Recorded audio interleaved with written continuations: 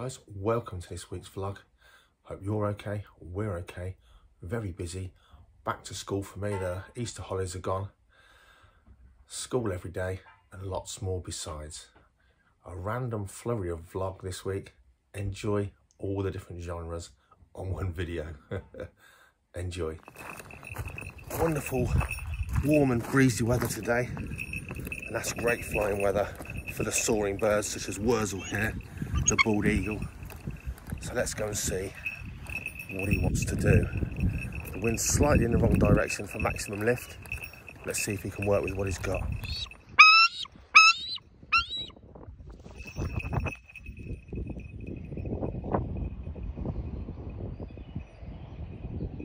It's all wrong and he's gone a long way, but he's done proper soaring bird skill, round and round and round off the slope down in the distance there. Let's see if we can get him to come back over this way, which is going to be hard. He's a long way out, but he's got a good bit of altitude, and that's key because if he can see me past the tree line, then we can attract his attention. I really hope that's not him. It is him. Yeah, he's lost a bit of altitude now. The more altitude he loses over there, he's going to lose loads of lift, and there's going to have to, if he loses height, he's going to have to fly back under his own steam he wants to use the elements. So if he gets any lower, he's just going to have to battle his way through. Here he comes. So he's lost that height, which is a shame. Waving a bit of chicken here for him. That's the sound that says dinner served. In he comes. What a beauty. What a great boy to work with this really. Where's the...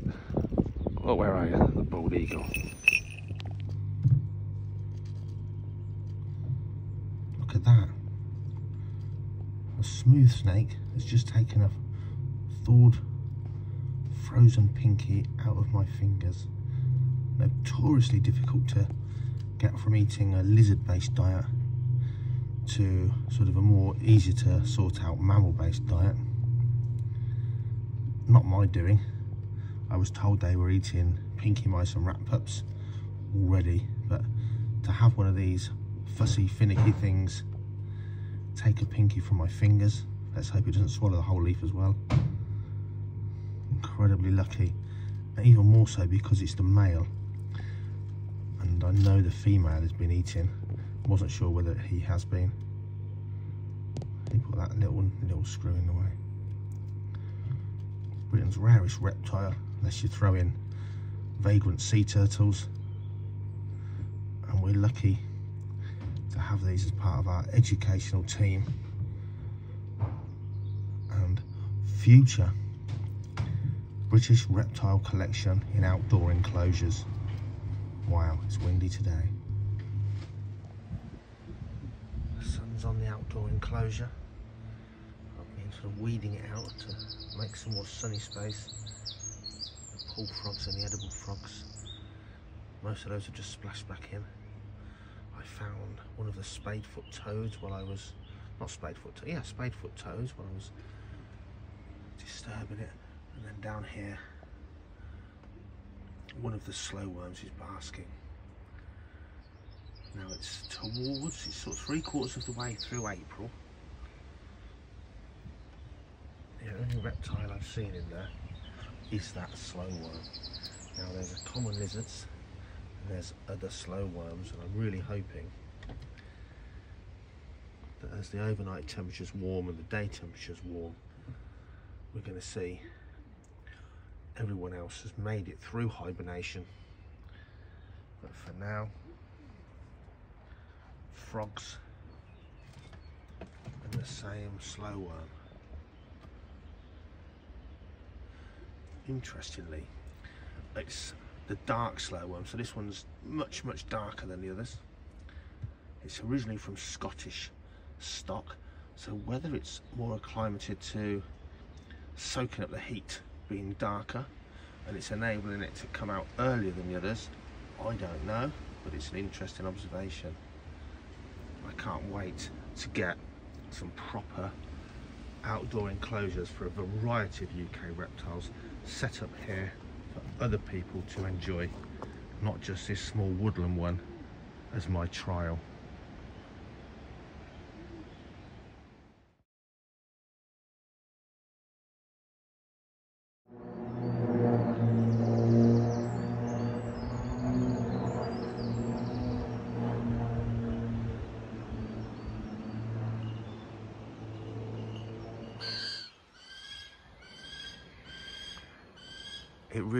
Is a magnificent time of year to visit Holdenby and Icarus Falconry Centre. It is absolutely beautiful. The blossoms out, so it's ahead of all the sort of the, the summer flowers in the gardens, but what you're getting is the tail end of the spring flowering and these magnificent blossoms and the beautiful shades of green just just flowing through the countryside, the gardens and the estate. There's all this lovely lush. Just look at these conker trees. That, you know, that first flushes of the greenery of spring sort of running into the end of May is absolutely stunning. The birds are here. They're great. Everything's looking great. It really is. So come and see us this weekend, guys. Holdenby.com. It really is a completely holistic family time out with all of your family from young to old. And I can tell you now, when we're doing our birds of prey displays, probably especially our animal talks, that really is for every single member of the family. Everyone's going to enjoy it. You really are. Really hope to see you soon. Here's a blast from the past. I've just been to the dentist, first time since lockdown, to get a couple of repairs done. And here, just around the corner where I parked, is Duston Village Hall. Look at that old building. I went there for play school, or what it preschool as it's known now. Look at that. I have clear memories of going there, my mum dropping me off and kicking and screaming because I didn't want to be in there. I wanted to be in the cul-de-sac street we lived next to a field full of butterflies, chasing butterflies round the street with a bandy net when I was already at preschool age. School for me was nothing but a kind of, a bit like being in prison for the day. It time dragged because I was just so fascinated in the outdoor world. I just didn't want to be locked up all day. I wanted to be outside in a garden or playing in the street where other insects lived even when I was at preschool age. Look at that. It took me right back just seeing that building. Look at these guys all enjoying the sunshine. They've all roamed around and funnily enough, they've all came back to this spot here and just sunbathing. Mediterranean, Mediterranean and the, the two sulcatas here. Just loving it just like we do, just loving soaking up the sun, warm sunny rays. Then over here, they've got their wallow. That gets filled up once a day. They'll have a good old guzzle if they want to. They don't need to drink really, they get enough water from their food, but my goodness, they do like to fill up their water reserves, give them the chance, that is for sure. Great. He's actually coming to get me. you little swine. Look at him. Look at him. God, blimey. Savage beast. Tickle, tickle. Oh, oh look at him go. He's going to get the back of my leg in a minute. God, it's like having a... It's like having... What are those brown and white dogs called? Jack Russells. it's like a Jack Russell on wings. That's it, there he goes. Quick, let's see him fly. He's still going to come back and get me. No, there he goes. Look at these guys. They're at it again. False water cobras. Hypo male, normal female. And they're already mating pretty much as soon as they get together.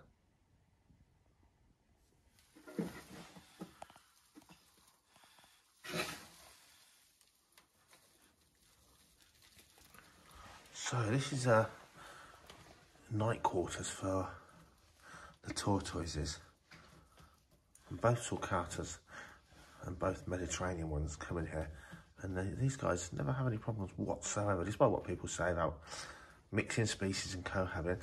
Although, yeah, the male sulcata is trying it on with the largest Mediterranean tortoise who has retreated to her shell and pushed herself to the ground.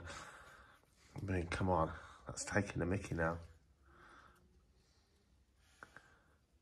Look at him, not even ashamed of himself.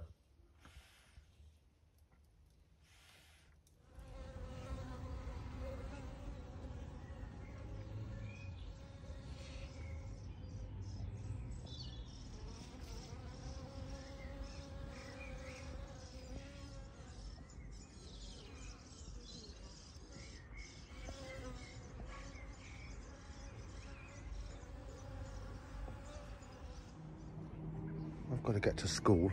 Can't find the pups. And back out here again. Look at them. It's not even sunny. I'm trying to live in the lap of luxury all the time. You're going in now. Come on. These guys have had a long hibernation this year. These are Mediterranean, well, European eyed lizards. Massively great animals and brings back big memories of living in Spain. The males of these get huge, the biggest lizard in Europe. These are sort of well grown on youngsters. Absolutely beautiful creatures. Often called jeweled lacertas nowadays, but eyed lizards is what they are. and these are temporarily in here. They've always been destined to go into an outdoor summer enclosure with our Mediterranean tortoises. Money and time, eventually, that's where we'll see these amazing animals and watch them grow to their full potential. Hopefully build up a, a colony, depending on the size of the enclosure, because these are very territorial the males get huge with big heads and they really are beautiful, beautiful creatures. They can get hand tame. It depends on where they're kept and the individual. So these animals have been, depending on what enclosure they've been in in my reptile room, they've been hand tame and literally come and take food from my hands. And in other enclosures I've moved them to, quite skittish and hide as soon as you approach. At the moment, they're kind of in a in-between stage. Look at those. Absolutely beautiful.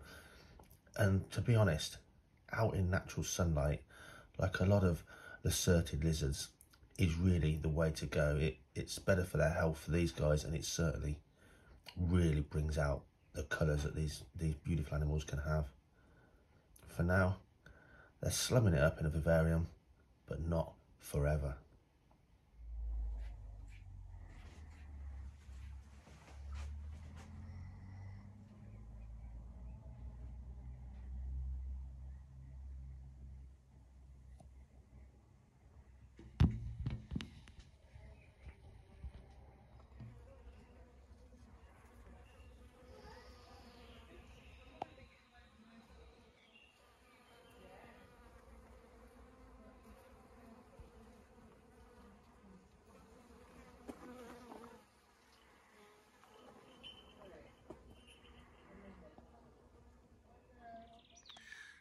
Now for the macabre.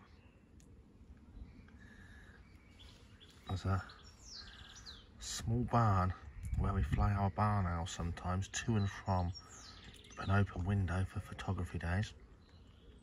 Emily and Joe have been putting her through her paces as the first photography day of the year is going to be coming up soon with Bob Brinsert, wildlife photographer. And in the barn, owl pellets lots of owls here. But these were barn owl pellets. Look at this. Lots of vole skulls more than anything else. And just a few pellets. What efficient pest controllers owls really are.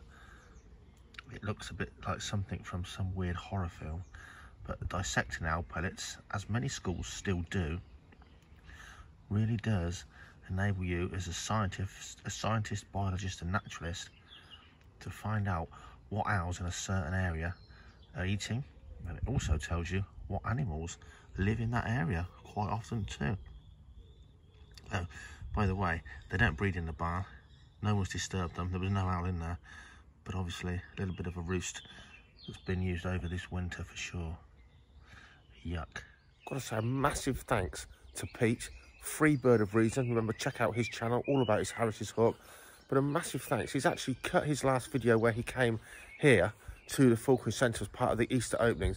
He did some great filming just for his own channel and he's actually cut that video so it is just basically a promotional video for our weekend open days. So I'm definitely going to put a link below. Please check that out. It's on his channel, Freebird of Reason, but it's basically a promotional video for us to use that he's just adapted for us.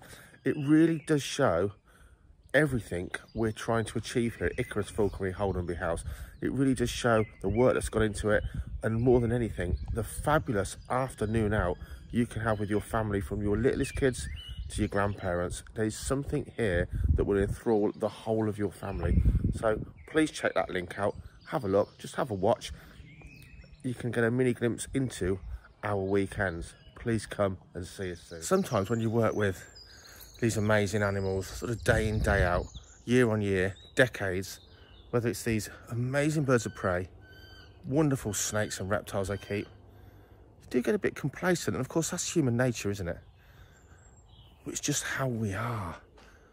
But I have to pinch myself and remember that first time I saw a golden eagle on a school trip, I was literally awestruck, literally awestruck. And of course, I have to remember now, when I do a talk here at the Falcon Centre maybe, or a school talk, and people can meet this guy close up and occasionally even touch him, I have to remind myself that must be an awesome experience for those people, young and old. Look at him. We say things like awesome and huge and wow factor and all this, but I think for a golden eagle, you just have to say the word absolutely is magnificent, isn't it? What a magnificent animal. Look at his feet and talons.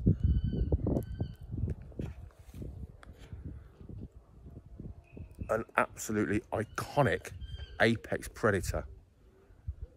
I've worked with this guy since he's dribbling. He thinks he's going to get fed. I've worked with this guy since he was 16 weeks old. And come October, he'll be back in his fitness training regime, ready to start his ninth falconry season.